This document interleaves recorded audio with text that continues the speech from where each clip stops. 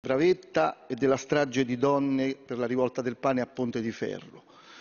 E io credo che nessuno possa permettere a nessuno di sfilare per le vie della città infangando, ingiurando, oltraggiando quella storia nobile di Roma. Noi daremo il nostro contributo affinché domani Roma non subisca rispetto all'ordine pubblico danni eh, per l'autorizzazione che è stata concessa e collaboreremo in tutti i modi.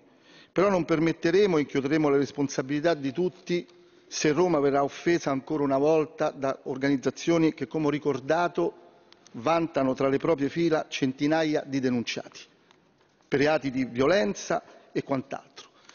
Autorizzare un corteo semplicemente perché qualcuno ha candidato sindaco il leader territoriale di una di queste organizzazioni a noi francamente sembra cosa inadeguata.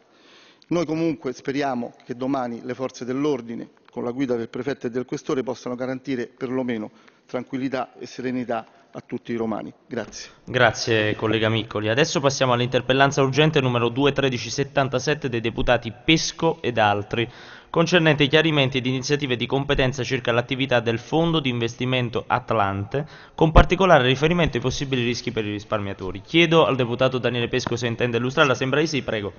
Grazie Presidente.